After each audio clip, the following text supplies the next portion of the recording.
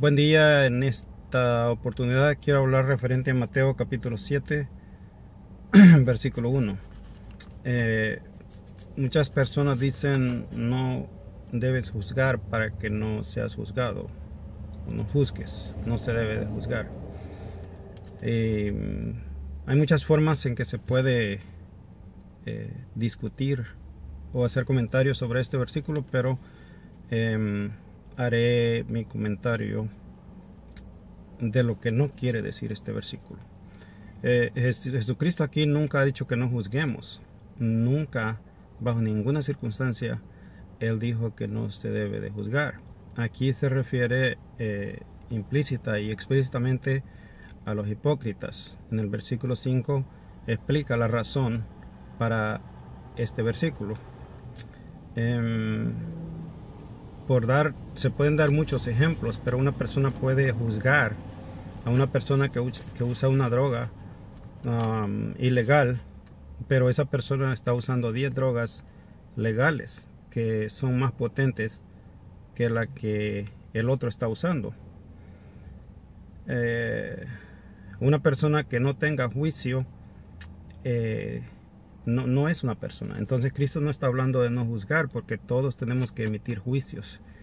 De levantarnos, por ejemplo, en la mañana para ir a trabajar es un juicio que se está emitiendo, hacerlo o no hacerlo.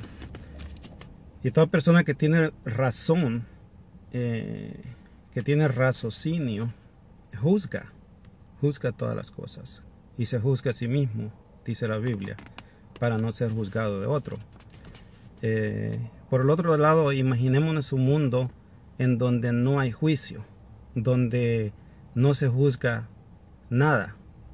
Eh, sería una persona sin razón, sería una persona con problemas, con déficit, déficit mental.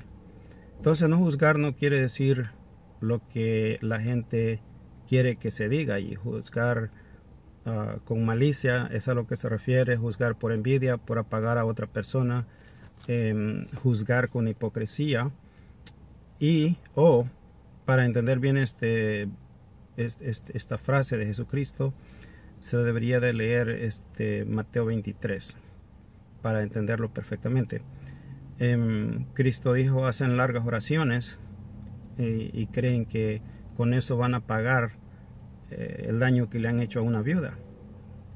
Em, crees que debes condenar a una persona por el aborto, pero eh, adoras a esa persona porque no aborta, pero hace daño a otras personas.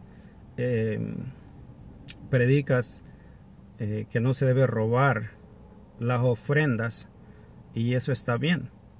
Pero a la hora de dar 300 dólares para un buen ministerio o para la renta de una persona, en grandes necesidades no se da, pero sí se da para pagar 75 mil dólares a una persona expresidiaria para venir a relatar eh, cómo estuvo en la cárcel. Entonces, todos estos son ejemplos de hipocresía y Jesucristo en este versículo prácticamente nos está invitando a dejar de ser hipócritas y a ser transparentes. A, a ser transparentes y juzgar por amor, así como juzgamos a nuestros niños cuando los amamos, los juzgamos por amor.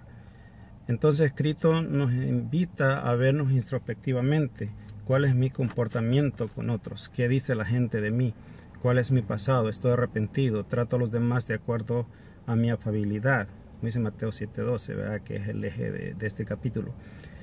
Eh, Cristo no dijo entonces que no juzguemos, sino más bien dijo que eh, seamos transparentes a la hora de ver el pecado ajeno.